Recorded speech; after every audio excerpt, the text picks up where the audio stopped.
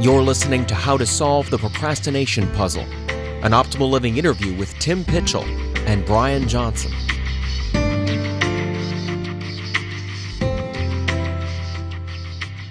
Hi, this is Brian. Welcome back to the Optimal Living interview series. Today I'm thrilled to be chatting with Tim Pychyl, who wrote the great book Solving the Procrastination Puzzle, subtitle A Concise Guide to Strategies for Change. We were joking before we started about how you can't write a long book about procrastination. People nope. won't get around to it. And uh, Tim did just a great job of, of creating exactly what the subtitle suggests, which is a concise guide to strategies for change. I actually read it while waiting for some uh, repairs going on uh, on our little Prius and just loved it. So really practical. I'm excited to explore some of my favorite big ideas. But quick background on Tim he is a professor of psychology at Carleton University in Ottawa and is one of the world's leading experts on procrastination. He's been researching and writing about procrastination for 20 plus years. And as I said, he distills the best ideas in a really practical way in this book. Tim, I loved it and I appreciate you taking time to uh, chat. Thanks very much, Brian. Disconcerting that you got your Prius in for. Re- repairs, but I guess it happens. Oh, it's doing great. This was just standard maintenance. Good, good. Nothing to be alarmed about. We have a Prius too, and it's going strong. Oh yeah, ours is great. So uh, I'm glad I could assuage those concerns. Um, well, let's start by talking about what procrastination is. You define it in the book, and I think it's really important that we get a sense of of what it is precisely. Um, and I love the way that you frame it. So you can help. Can you help us with that? Yeah, that's a great place to start because I just had a doctoral student finish a dissertation in August where he defined six different kinds of delay, and procrastination is just one of them. Procrastination is the voluntary delay of a, an intended action. So we get this, it has to be the notion we have an intention to do something, and the delay has to be voluntary in the sense that no one's stopping you, no one's putting a gun to your head saying, don't do it. And this delay has one particular characteristic that you know that or you're quite certain that you're going to be worse off because of the delay. So those three, three things have to happen. It's got to be a voluntary delay of something you intended. So you have an intention action gap. And you have to think that all things considered, this is probably going to come back and bite me. Hmm, that's great. Versus other delays where we just consciously choose to uh, wait on doing something, and it's a very deliberate choice rather than the ah, oh, I, I wish I could do this, and I have an intention action gap, uh, etc. Right? Exactly. So you and I set this up quite a while ago. In a sense, we could have done it the very day you contacted me, but we delayed it because it was optimal for both of us. And mm-hmm. talk about we're using that word optimization. And then there could have been an inevitable delay. Both of us have children. You might have needed to go play blocks with your son, as I read on the internet and uh, it's something you enjoy. And and so, or my this, my kid's school could have called and said Alex has a hot headache, and I would have had to say Brian, I can't do it. Well, I wouldn't be procrastinating. That would be inevitable delay. Mm-hmm. So there are other forms of delay that are normal in our lives. They're part of practical reason, and we shouldn't beat ourselves up for them. Yeah, that's great. And then um, while we're kind of exploring the definition, can you tell us the Latin root of the word procrastination? Yes, it means to put forward to tomorrow. So pro and crastinus come together to mean belonging to or to put forward to tomorrow. And so on the surface, it seems like a rather uh, harmless idea. But then we know that tomorrow is a bit of a mystical land where 90% of all our motivation and achievement is stored, right? That's the big joke about tomorrow. And yeah, and I think that gets us very close to the big problem with procrastination, which is I think I'm going to feel more like it tomorrow. Hmm. Which brings us into motivation, which I want to talk about in, in, in one moment. But I also want to step back and and you make the explicit point a number of times in the book that we all procrastinate. So can you tell us a little bit about that at different times in different contexts? Mm-hmm. Basically, all of us will procrastinate at some point or another, right? Yeah, we're not all chronic procrastinators, but Procrastination is an emotion focused coping strategy. And I'll come back to that in a number of ways because it's something that I think is missed so much about procrastination. We think of it as a time management problem. We think about it even sometimes as a motivation problem. But we can be highly motivated to do something and still procrastinate on it, which is interesting. And it's because we have this emotional response, this resistance. And so all of us can face that resistance at times. And that's when we can pull out procrastination or avoidance as a coping strategy. And it's similar to other kinds of really self defeating coping strategies, like you're not eating the second row of that bag of cookies because you're hungry. Hmm. And you're doing it because you're trying to do something emotionally. You're trying to make yourself feel better. And it's a misregulation because eating those cookies is not going to make you feel good. In fact, it's probably going to make you feel a bit sick. And it's the same with procrastination. It's a misregulation because we believe that avoidance is really going to make us feel better, but it's a very short lived feeling of relief. Hmm, so good. And of course, that's the ultimate theme of the book is to optimize our self-regulation and then a number of techniques and tactics to help us do that. Let's let's talk about motivation. And uh, in short, it's not required, right? We have this misconception that that we need to feel like doing something in order to do it. And you yeah. talk about how uh, the research shows that oftentimes attitudes follow behavior more than or at least as much as the other way around, right? That's a great summary. In fact, we have to have motivation in the broadest sense that I have to be committed to my goals. Like today, I, I came back from a trip yesterday. I was on the, on the weekend, actually, I was with my father who lives about six hours away. And then I gave a talk to high school students in Toronto, which is about four hours away. Then I drove home. And today I had a goal to sit down at by nine o'clock in the morning to work. And for me, just showing up is so darn important. At nine o'clock, I was at my desk. Now, it doesn't mean that I felt like it at all. Like there are so many other things I want to do. I have I live on a small farm. Uh, I hadn't seen my horses for the weekend or a couple of my dogs. I had one dog with me, and so there are many things I felt compelled or wanted to do. But I'd made a commitment to get to my desk at nine, so I was here at nine. But then I felt this resistance. Instead of kind of focusing on those emotions because I, I don't feel like it. I say, I don't want to. I don't feel like it. If I stay there, I'm done. Instead, I say, okay, what's the first action? Okay, well, what did I say I was going to do? I can look at my day planner. I say, okay, at nine o'clock, you said you're going to read uh, the prospectus draft for one of your MA students. Okay, what's the first action? I have to open up that document. I can do that. So I open up the document. It's so good. And can you tell us about the research around this? That that when we do that, the feelings that we thought we needed to have to start come into play, right? Following the actual action. Well, exactly. Like you said it so well that our attitudes follow our behaviors. This is something social psychologists taught us a long time ago, and it's the same with motivation. But on top of that, there's research to show that a little bit of progress on our goals fuels our well-being. So, on the one hand, you have to remember what you started with, which was to emphasize that attitudes follow behaviors. So, your motivation will follow the behavior. But secondly, that a little bit of progress fuels well being. There's actually an upward spiral of well being, which is quite incredible.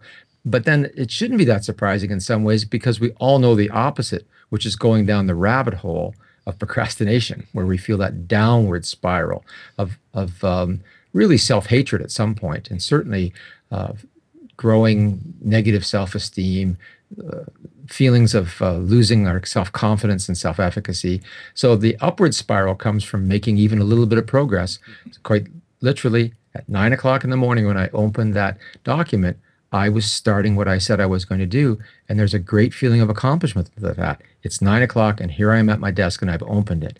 Now, I still didn't feel like getting into it, but I started to read the first paragraph. And that, and you know, because I've watched the short uh, instructional segment you did on the book, just get started is my biggest mantra. Yeah. Right? And that's, yeah. yeah. So the motivation piece doesn't have to be there because if I can just get started, my motivation will follow that.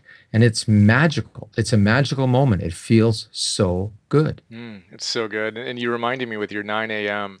Um, I think it was Somerset Maugham who said, I write only when inspiration strikes. Thankfully, it strikes at 9 a.m. sharp every morning.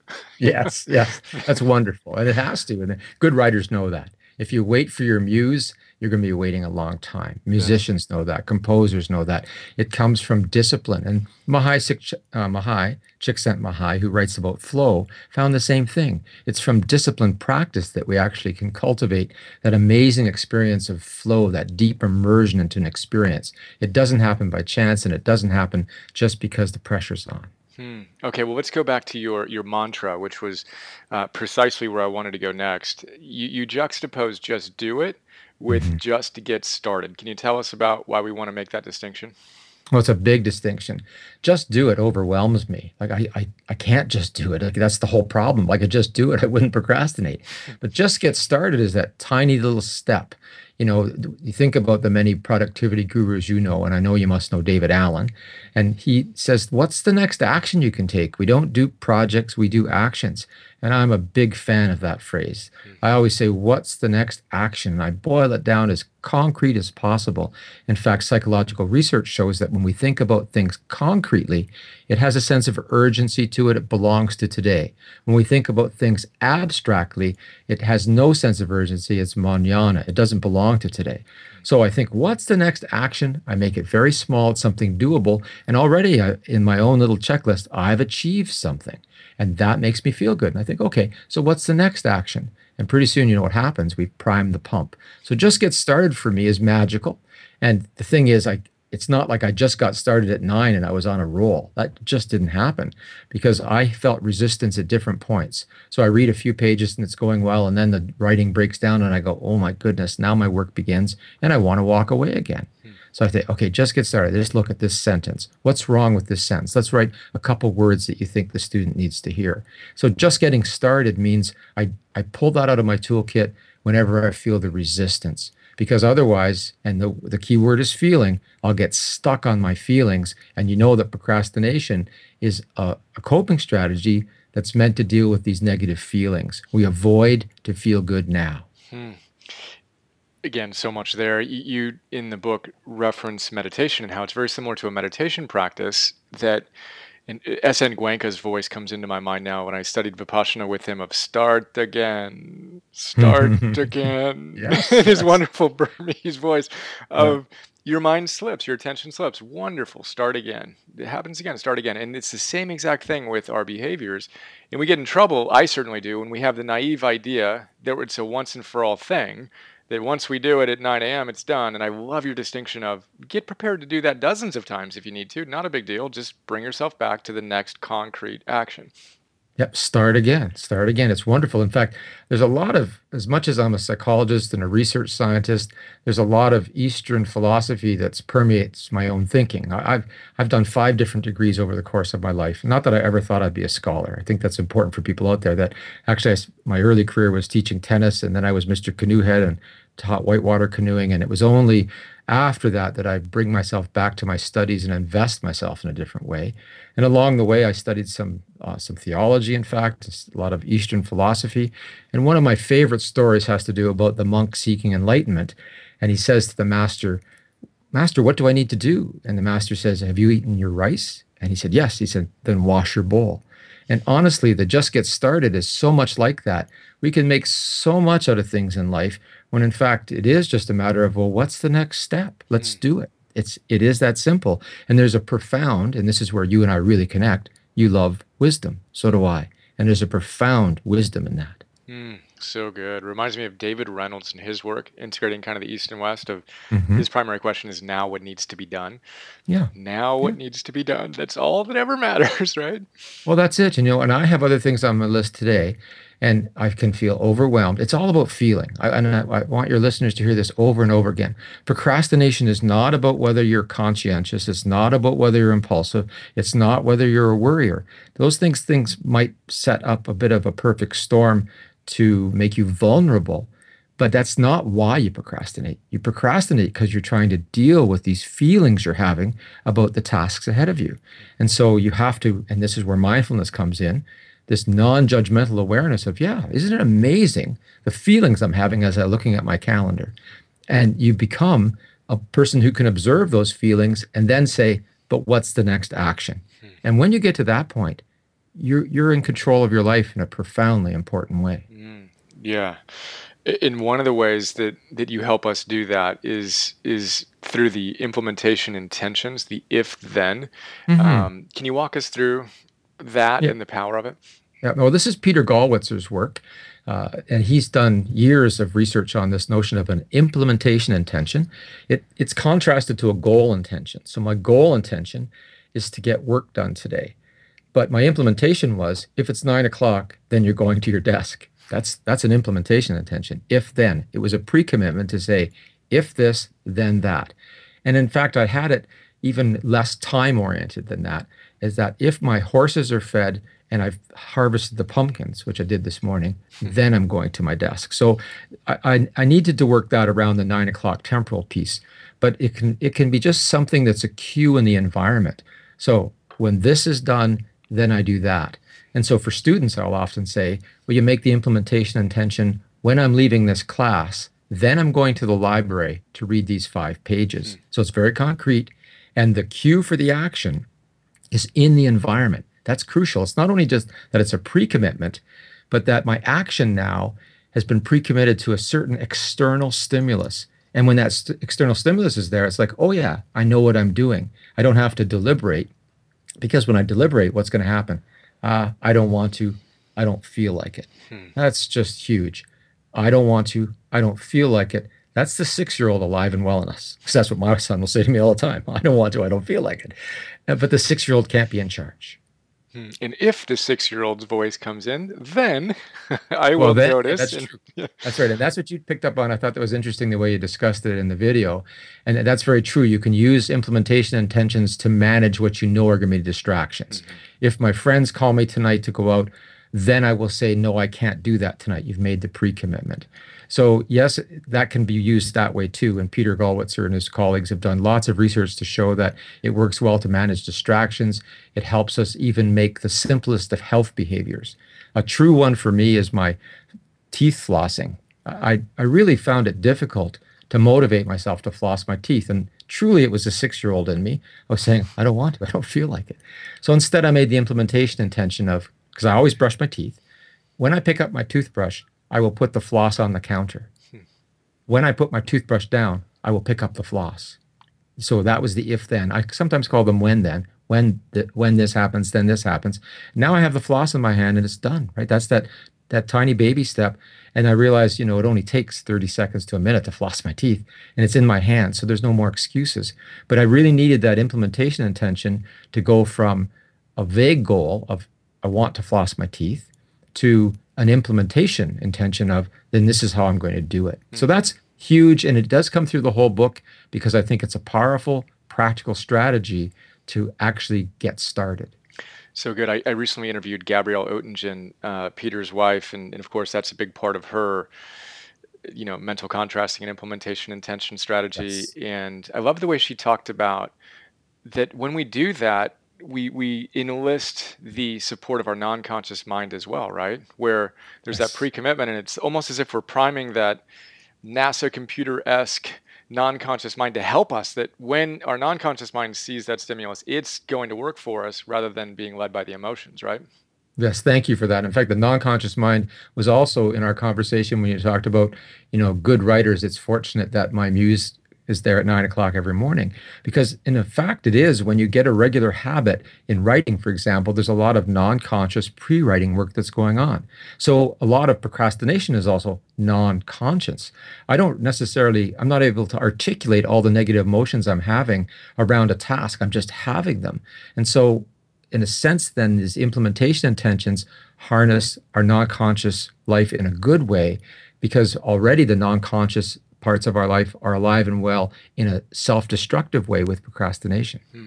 Yeah, and just to share, I love your you know if then examples. I just want to share one of mine because it's it's my number one habit mm-hmm. that I think well I'm I'm most committed to, which is getting a good night of sleep is my number one keep me going consistently creative habit. Mm-hmm. And then mm-hmm. I've discovered that if the sun goes down, then all my electronics go off is the most powerful implementation intention I can create.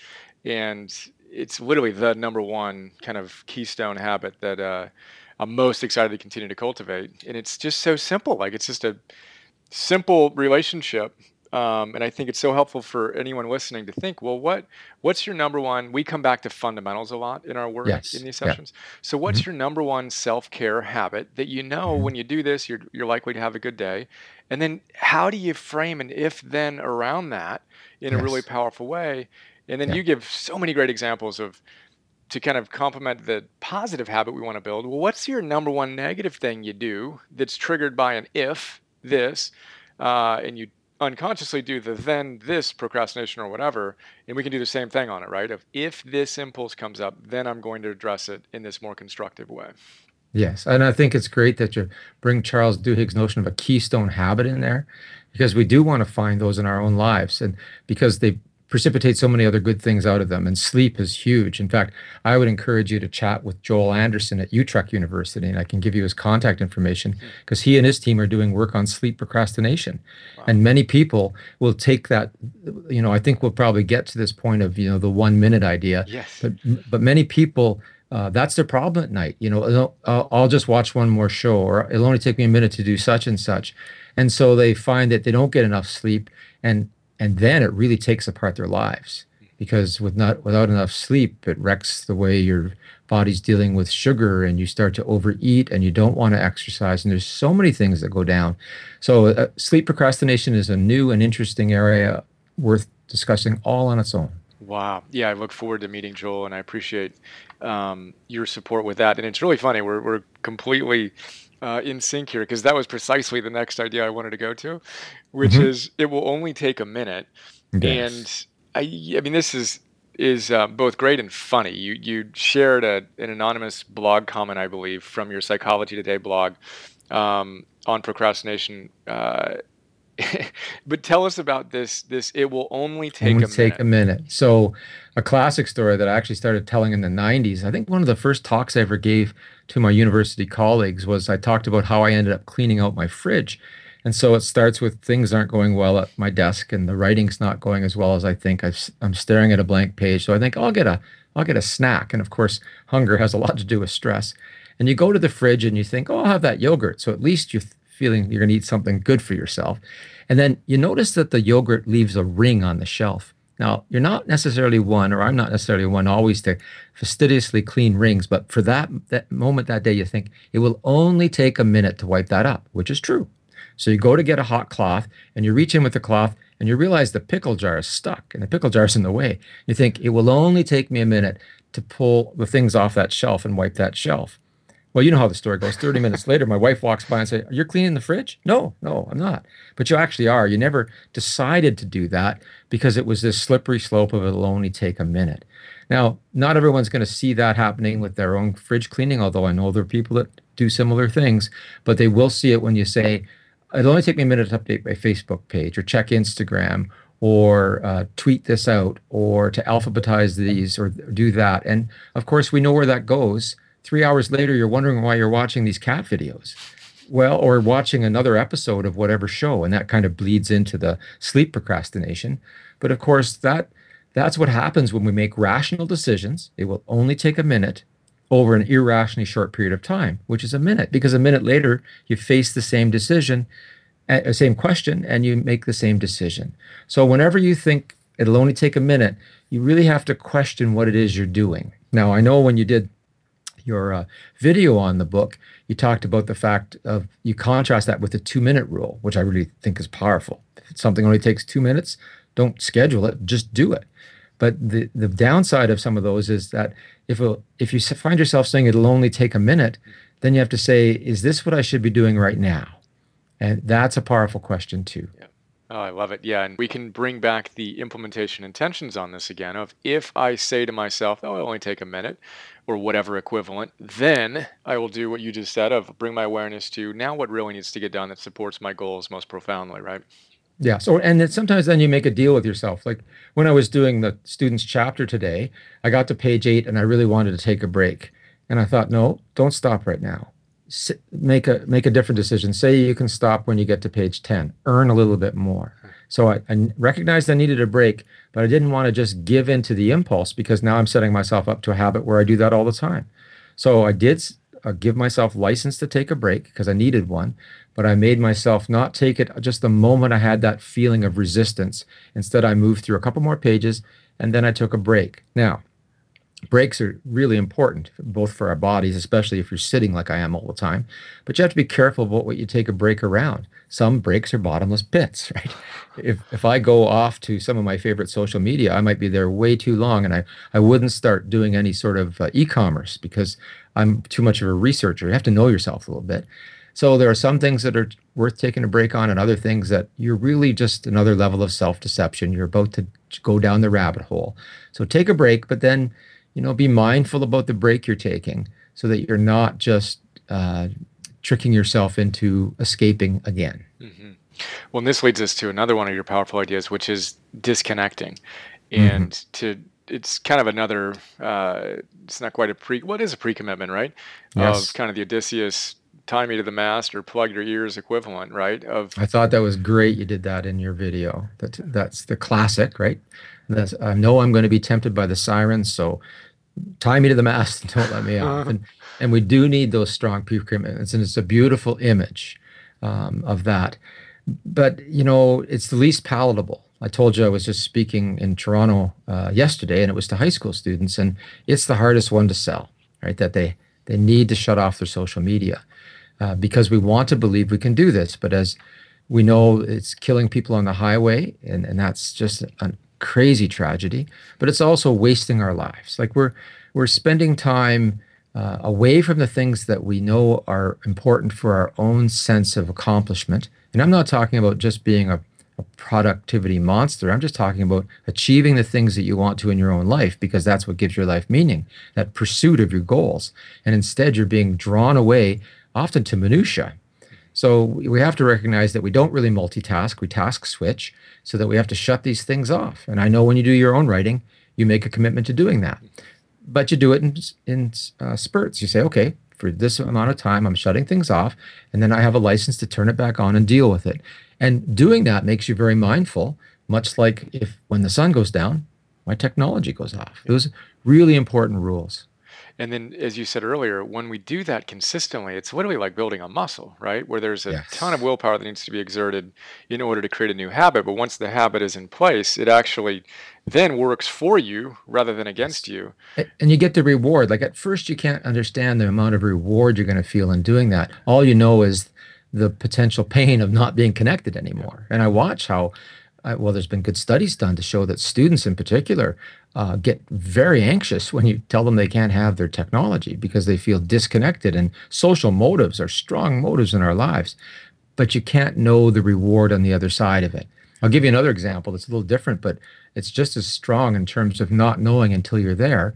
Is that when I used to go to malls and see parents with children, I thought, why would anyone have kids? Like, it's just crazy. But it's not until you have your own and, and their hand slips into yours, or you have those moments where you're you're getting that embrace are all the good things that come in relationship with another human being that you understand yeah there's a yin and a yang here. There are those uh, moments that are challenging but you can't know that until you're in it. And you won't know some of these rewards about shutting things off until you try it. Mm-hmm. and and that i think is amazing. It's much like the when you get something done you can't believe how good that feels. So i'd like to unpack this a little more because i just did uh, a, an episode and a, a, philosopher's note on Walter Mischel's marshmallow test. Yes. And you know his description of hot versus cold, and hot mm-hmm. is very concrete, and the cold is very abstract. So these, all of us, but to use your example of these students who are just they're hot, they're they're addicted really to that that mm-hmm. hit that's very concrete of the social media. How do you help them bring that heat, cool off the that impulse, and then heat up the the benefit that they current can't currently see. Do you have any tips on that? Well, that's a really tough question. Uh, the, you you have some of the the answer within the fact that Walter Mischel saw, saw some kids do that naturally. Like when they were uh, facing the marshmallow task, they turned around and sang a song about something else. They they had some self regulatory skills, uh, and mindfulness is the other thing that you mentioned earlier. Uh, I embrace mindfulness meditation to build that self regulatory muscle particularly around attention and non-judgmental awareness because those are that teaches us that we can direct our attention to where we want our attention to be rather than to perseverate or ruminate on the feelings we're having because they just grow and grow and grow. So to make something go from hot to cold, we have to learn to develop a non-judgmental stance. And sometimes physically, I'll tell you that while the practical advice I give to people who've never tried this is that when you feel like running away, and I'll talk about where I live, which is at my desk for most of my tasks, but you can take any context you're in, is breathe deeply. Uh, breathe deeply for, you know, 10 big breaths, and things are going to cool down. I mean, that's your physiological response is the parasympathetic nervous system is just going to cool everything off. And so that's a simple physical way to do that. Now, there's mental strategies as well, uh, but suppression's not one of them. Like if you say to someone, don't think about a white bear, that doesn't really work. You have to be actively think about something else. And here I would invoke the notion of Parker Palmer, who's written a beautiful book called The Courage to Teach. And Parker Palmer writes about the fact that, and he writes a lot about the culture of fear in our universities, in our students, and in our faculty. And he argues that, you know, we may have fear, but we not need not be our fear. I just love that. That's one of my personal mantras. I may have fear, but I need not be my fear because I can work from some other part of my inner landscape. And there are other parts of me, but I have to focus on them my curiosity, my desire to learn. All of those things are alive and well in me. And so I have to just turn my attention from not trying to stop to think about a white bear, but instead, which is fear, but instead turn my attention to the fact that, yeah, I am really curious about this, or I would like to try that. And that to me is so important because we're all going to face those moments where we have these negative, hot emotions. And then I have to work from some other part of my inner landscape. So I turn my attention there. Mm. So that that's what I'd offer by by way of an answer to moving from hot to cold. But I'd say you've hit the nail on the head because that's what procrastination is all about. It's not a time management issue. It's dealing with the negative emotions you're having, whatever those may be frustration, boredom, resentment, fear, anxiety around a task. Hmm. I love the, the physiological cooling with the breathing. And mm-hmm. then in my own process, to really uh, groove in the joy. And you mentioned this as well. If you just need to try it, you need to do it so you can feel how good it feels to be the type of person that can say, you know, I really want to go online right now. One of my things is I don't go online until I've done a certain amount of creative work, reading or writing or whatever it is. And of course, there are so many times where I want to do that, right? And of course, there are times when it makes sense for me to consciously, deliberately choose to do something other than what I typically do. But the joy that I experience when, and we all experience when we do that which is best for us, to to really celebrate that when we do it. You know, for me, it's that's like me. I, God, that feels good, and to make that as fresh and hot as possible, so I can bring that recollection back and know that yes, the impulse will feel good momentarily and then not so good, and this feels so good once I do it. So let's do that, right? Yeah, and then, then and we've been doing research recently based on some of the work that Hal Hershfield at UCLA and uh, previously at New York University has done on the discrepancy between present self and future self. Mm. He, he's shown us that if we can think about retired future self, for example, by seeing uh, a digitally aged image of ourselves, we're more likely to save for retirement.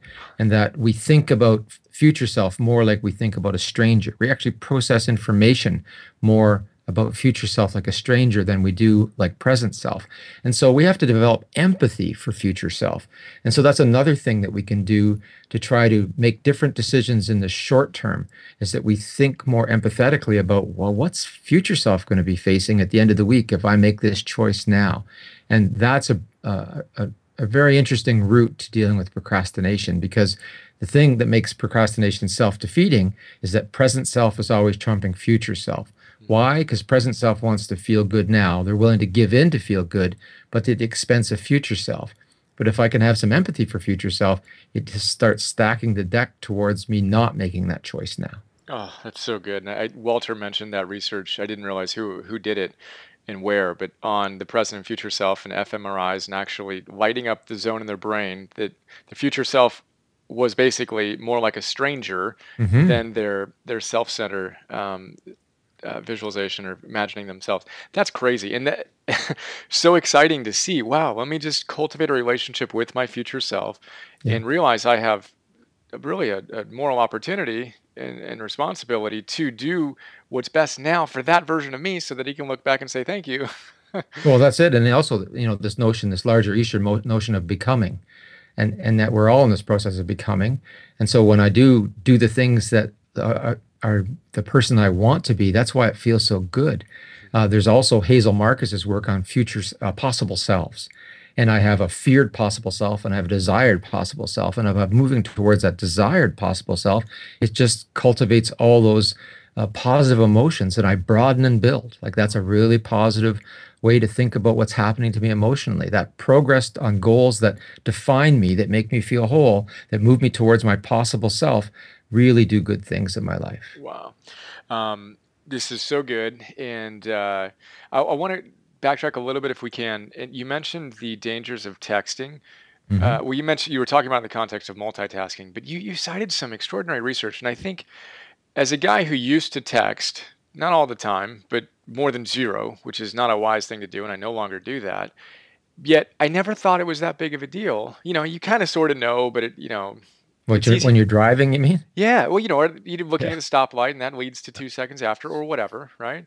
Mhm. And the research you you cited on that, it was just staggering to me, and I just don't think most people have as deep an awareness of just how dangerous that is. Um, I'd love it if you can uh, briefly reflect on that. Well, there's a lot of different studies coming out now, and in fact, in Canada, we've just upped the fines for having uh, a phone in your hand or texting while you're even in the car, even at a stop sign. You're not allowed to do that, uh, except uh, you'll well, you'll be fined heavily, and and there'd be demerit points because the, the research in general is finding that it's much more dangerous than drunkenness while driving. You know, we're all afraid of drunk drivers, ma- you know, mothers against drunk driving, but we also have to be terribly afraid of texting um, because it seems so less um, socially wrong and doesn't seem as dangerous, but it's terribly dangerous. And the only way I can do it is by making a pre-commitment. Because like anybody, if your phone is sitting there and you've got work on your mind and you're running late, you're going to pick it up. I, I have to put it in the back of the vehicle in the bag, and it can still talk wirelessly to my uh, system in my truck so I can drive hands free and I can use the voice activated system. It's great that I can just say, you know, call so and so, and it, that happens. Uh, but I can't pick the phone up. And that's the pre commitment. If I'm getting in my car, then I'm putting the thing in the back seat. And because if I don't, I know my my worst self will pick up that phone. And that's kind of leveraging better self. You know, lever, lever, we all have points in the day where you know you feel motivated you feel like you're going to exercise and you know you want to do that so leverage that and th- then make the pre-commitment so you're phoning a friend and saying i'll meet you at 4.30 for a run because you know on your own at 4.30 you're going to say no i don't feel like it but now you've made a pre-commitment to a friend you're probably not going to let them down. So it is a matter of managing a man sorry it is a matter of leveraging our better self at times. And and actually if you do talk with joel anderson at utrecht he talks about extended will. This notion of you know we don't have to think of willpower just as an individual resource. And i know you've talked to roy baumeister about his will book on willpower and um, the willpower instinct instinct by kelly mcgonigal. Great great books uh, but he takes it a step further he says you know there's a notion of extended cognition where you can do more math with a pencil and a paper than you can do in your head so why don't we have extended will where we develop tools that will help us that way? And so there might be apps to help us that way, and you can just set the environment up to afford us uh, in a different way. So if I want to ride when I come home, I have to trip over the bicycle to get in the house, as opposed to I got to go find it. So all these things are really important to us being successful. There, I mean, it's it's weird how the subtle things are so big. Um, I want to share one thing on that, but I want to go back to the Virginia. I I searched this, and I think you might have referenced Virginia Tech Transportation Institute, um, or I might have just pulled this out somewhere else. But their stat that I read was texting while driving is six times more likely to cause an auto crash than driving when intoxicated. I mean, that's just I, I can't even wrap my brain around that, right? Because none of us Yes. would, uh, uh, you know, drive intoxicated. Very few of us are going to say at the beginning of the day, "Yeah, I want to drive intoxicated tonight." Right? That's just that's on the list of things to do today, right? But you might text all day long when you're in a vehicle. and that's six times more dangerous. You might as well, and obviously we should never do this, but you might as well. It's safer than texting. I mean that comparative analysis um, was enough to just completely done, never happening again. And for me, I just I usually have my phone off or it's in airplane mode or whatever um, for the same equivalent. I love your idea Well, of just having it in the back. Well, it's really part, and I'm glad you quoted some of those statistics because as a cyclist, I live more in fear of the road than I ever have because it's it's that the drivers don't even see me because they're looking down. Mhm. And one thing about intoxicated drivers, at least they're trying to look Yeah. up, right? Right they're they're struggling know to they're impaired. sober. That's right. Whereas here, we're totally unaware that we're taking our attention because we think we're multitasking and we're totally looking away. So I don't think we could ever uh, understate how important it is not to do that. I think it's a it's a one of the biggest problems we face today in terms of our own uh, safety for for sure. That's great. And then I love your idea of literally tripping over the bike. I do that. I have a certain system of what I do when I produce content. I read, I write, and then I record.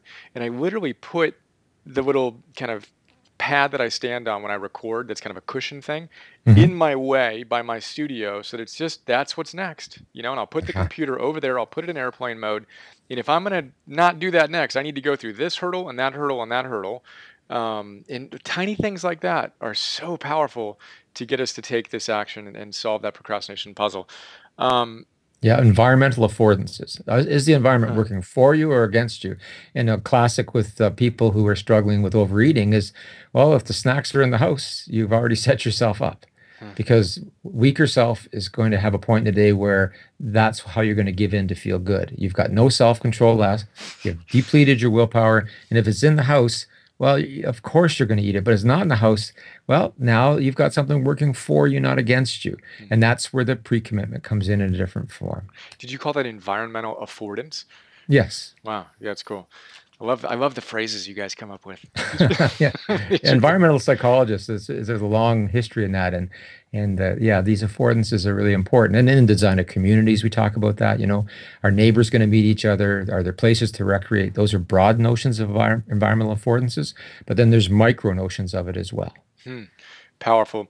Well, I'd like to to wrap up with. Um, one question and just checking to see if there's anything we didn't cover. But you talk about the fact that we need to expect to stumble and mm-hmm. self forgiveness as it relates to procrastination. So, obviously, we need to bring awareness and mindfulness, but can you tell us about the importance of, of making this a process and being willing to forgive ourselves?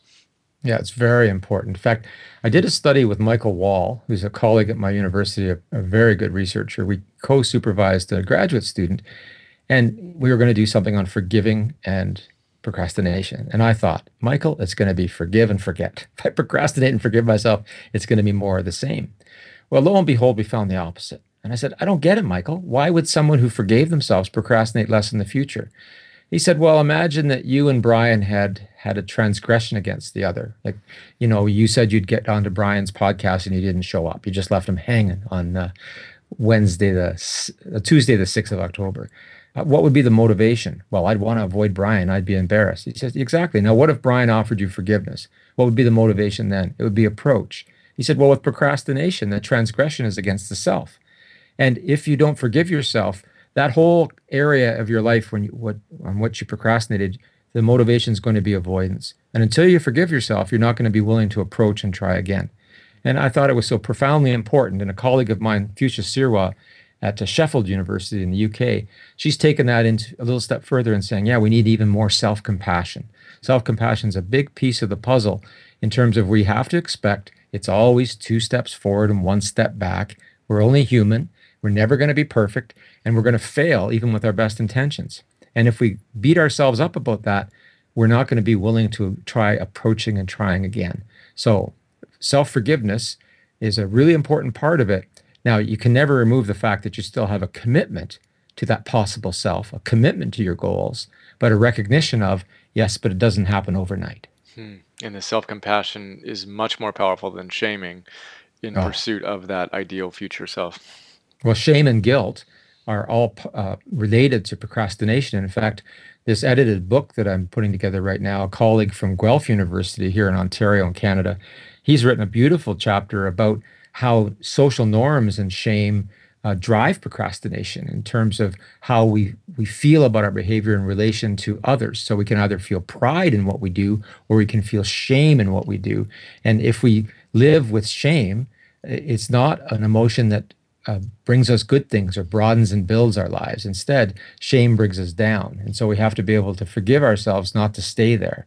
Uh, Brene Brown's work is so important in that sense. You know, she's a shame researcher, but she talks about wholehearted living because she's able to talk about the stuff that gets in the way.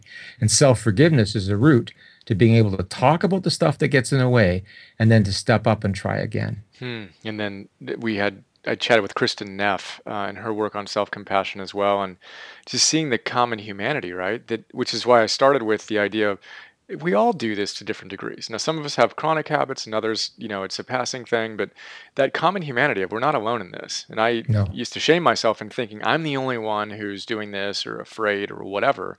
And that sense of no, this is just part of the human experience and dust myself off and go get back to work and enjoy the process, knowing that that's inherently how it works. Yeah. And every day, like today, even I, just before we got on the air together, you know, I've accomplished a lot. There's, I haven't missed a step today, but I still don't feel good. And I had to kind of examine that and say, Tim, where's all this coming from? And part of that is just this kind of non-conscious. We talked about this earlier. This this fear that it's not going to work out. And I think just just work, look at the next action and get that done, and, and have some faith. But you know, we, it is common humanity. No matter how successful we've been, and no matter where we are in our lives, this can be the way we're operating. And so, for some people to think, well, someone who's um, published all these things and understands this, then they must be apart from that, stand above it. No, it's not true. In fact, the reason I can be successful is that I'm willing to apply the strategies in my life on a day to day basis. And that's when it comes back fully to that Eastern perspective. It's the practice, you know, it's the sitting, it's the doing. It's not that you've transcended these things, it's you've developed a way of life that builds that wholeness. Hmm. Chop wood, carry water, wash the rice bowl, right? yes, exactly. And you know, and and I, and I think again that's where we've come. Uh, I was so uh, happy to uh, accept your invitation. Is that you're a lover of wisdom, and I think that's where this comes together. It, it is the wisdom of making a life, and what's profoundly important to me when it comes to understanding procrastination is that there's only one limited resource you and I really have, and that's time itself. And we don't know how much of it we're going to get. And so when we procrastinate, we're, we're really wasting our own lives in a profoundly important way. In fact, I think that's why every major world religion has some notion of sloth, which can roughly be translated into this notion of procrastination as well, because it's wasting the most precious gift we have, which is our lives. So sometimes we might just say, oh, I'm procrastinating on this or that. No, in some ways, you're procrastinating on getting on with life itself. Hmm. And that's for me why, why procrastination is a deeply existential issue and one which the flip side, much like uh, Brene Brown's work on shame, the flip side is wholehearted living. And the flip side of the study of procrastination is really embracing life and having a sense of agency. Hmm. Beautifully said. Um, so inspiring. Is, is, there anything that we didn't discuss that you, you want to uh, bring to uh, light? Covered no, a ton. I think I think you've really done a good job at uh, guiding the the interview in terms of questions asked and the most recent research we've been doing has been on this notion of future self and then i've mentioned it in passing that there's many different forms of delay and we're really eager to continue to dis- distinguish types of other types of delay from procrastination because for many people they get to the end of the day and some things aren't done and they beat themselves up and they use that terrible word of procrastination, which brings with it guilt and shame and all these other things. But in fact, the delay was rather purposeful because there's only so many things you can do in a day and you had to optimize things and said, well, this has to wait while I do that. Or there's inevitable delay that things come up and we have no control over and it means some things have to wait. And I think it's important that we recognize all these flavors of delay in our lives and then understand when we're truly becoming our own self defeating foe and then work on that but then understand that yeah delay is part of life. Delay is part of practical reason. Delay is part of, of optimizing and strategizing. And that sometimes delay is even an outcome of having some sort of emotional distress. So people who are depressed or someone who's grieving and those can often go dance hand in hand or terribly stressed your problem's not procrastination. The problem is these are these emotional problems and you need to focus on those first and the other thing will go away. And i think that's really important to understand those differences and not throw them all into one bucket which is procrastination. Hmm. so powerful and again so inspiring to just imagine and to look into the work that you're doing with your colleagues and and uh, the wisdom that's coming out of that uh, that's just empirically based scientifically grounded and, and so practical if you could share, I'd like to wrap up these interviews with one final question, which is if you could share one piece of wisdom, and it might be something we already discussed or something outside of that, with someone passionate about optimizing their lives and actualizing their potential, what would that one piece of wisdom be? Well, I'd have to borrow from a person that we both admire in terms of productivity, David Allen, because it's those are his words. But I would say, don't ruminate on your emotions don't focus on the resistance you feel, acknowledge it, but then say, but what's the next action? Hmm. So, what I've added to um, this strict productivity focus, which is a really important one, is the fact that I'm acknowledging that I'm going to have this emotional response, this resistance, and that it's real, but that I have to not ruminate on that and instead um, let it be because you know that emotions come and go. For all of your listeners here, if uh, if I could put a bubble over your head, and uh, it allowed me to see every one of the emotions you had, and the only control you had was to turn it off or on.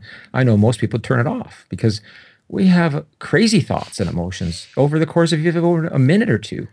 And, and so you have to recognize, and this goes back to the Eastern philosophy, this sort of Buddhist perspective of monkey mind, that we've got this tumultuous uh, ex- life experience or internal experience of thoughts and emotions, and acknowledge that they're going on, but then say, and and then what is my next action?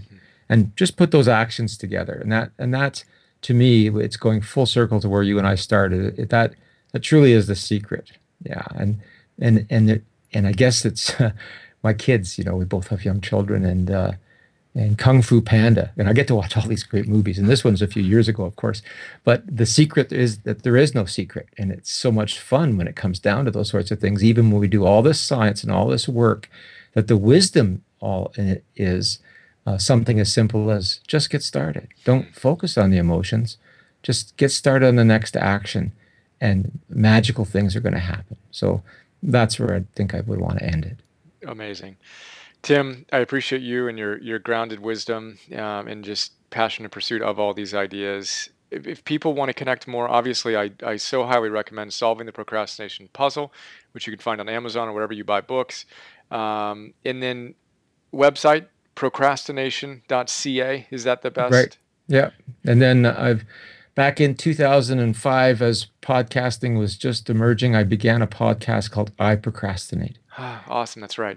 And then you also and in there I, I, do interview colleagues from around the world and cool. get kind of dive into the research end of things. So different, sometimes different than the conversation we've had. But for those who are hungry to hear about the details of studies, that's a place to go to. That's fantastic. So I procrastinate. Search for that in iTunes or Stitcher or wherever you do your podcast listening. And then you also have a popular blog on Psychology Today, right? Yes, yeah, I, have been, and I've returned to it. I hadn't been writing for the past year because I was so busy administratively, but now on sabbatical, I've been writing again, and I know I'm a little distracted because my edited book is due at the end of this month, but you'll see a lot more writing coming there as well. That's great. So Tim, and then Tim's last name is spelled P Y C H Y L. P Y C H Y L. Um, Tim, thank you so much. I'm thrilled to be connected. My pleasure, Brian. Great to meet you, if only virtually. Yes. Hi, this is Brian. A lot of people don't know all the stuff I do beyond these free videos I share on YouTube, so I thought I'd do a quick video to give you an overview of our membership program that you can get access to and get a ton of other stuff. Uh, so here's a quick look. 10 bucks a month, join the Optimal Living membership program. You get instant access to 250 philosopher's notes on some of the best optimal living books out there. Old school classics, positive psychology, modern stuff, mindfulness, peak performance, purpose, neuroscience, wealth, etc. Um, and what you may not know is that in addition to the PNTV episodes, I create PDFs on all of these great books. So six page PDFs. Let's take a look at one of them. Joseph Campbell. You want to figure out how to live your hero's journey? Well, this is a great place to start. I basically pull out my favorite big ideas, riff on them, connect them to other books and other ideas, and help you apply this wisdom to your life today. That's what the PDF looks like. Again, we have 250 of these on all these different great books. And then I record those PDFs as an MP3. So you can listen to that MP3 while you're on a walk or working out or doing some errands or whatever. Um, that is Philosopher's Notes. Uh, a lot going on there. And then in addition to Philosopher's Notes, you get access to Optimal Living classes, Optimal Living 101. Idea here is that all those great teachers come back to the same big ideas again and again and again. I distill those ideas into classes. Super practical, fun, inspiring classes ranging from Habits 101, Confidence 101, Getting Stuff Done 101, Meditation 101, instant access to all those classes. And then future classes include Relationships 101, Energy 101, Purpose 101, Business, Goals, etc. Those are our full length classes. And then I create micro classes, two to three to five minute little bursts of wisdom on my favorite great ideas from these great books across the domains that you want to optimize in your life. So we have dozens of these so far. I create 50 new micro classes every month and 10 new philosopher's notes every month for 10 bucks a month. So we're blessed to have thousands of members who are uh, enjoying the program and sharing some incredibly kind words with us. And uh, super simple, 10 bucks a month, cancel anytime. Would be honored to be a bigger part of your life. And I appreciate your support. And uh, here's to optimizing and actualizing.